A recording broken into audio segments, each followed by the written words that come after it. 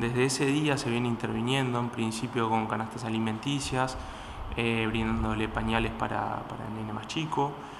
Em, desde ese mismo día también brindamos una solución habitacional temporal, que si bien nuestro instituto no tiene, la, mm, no tiene el presupuesto para realizarlo y no es competencia directa, optamos brindarle eh, un hospedaje en un hotel de Salto eh, por al menos una semana para poder trabajar con otros entes estatales, eh, poder oficiarlos y trabajar en conjunto em, la, intervención y, la búsqueda de una solución habitacional a corto y mediano plazo.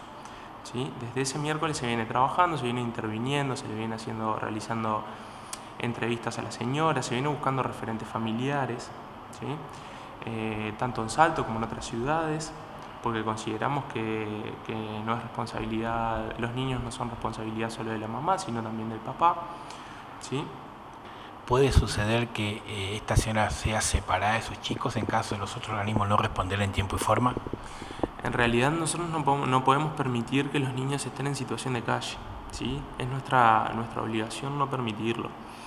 En caso de que, no exista una solución a, corto plazo, nosotros no se trata de una separación familiar, nosotros tenemos la obligación de proteger a estos niños y brindarles protección en un centro eh, especializado para esto. Si nosotros hubiésemos pretendido eh, realizar una separación de esa madre de sus hijos, eh, lo hubiésemos hecho en primer momento y no lejos está de nosotros. Estamos trabajando fuerte a nivel interinstitucional para evitarlo.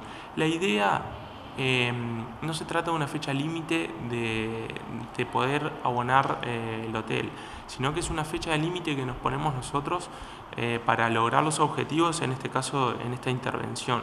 Nuestros objetivos los queremos cumplir previo a, este viernes. ¿sí?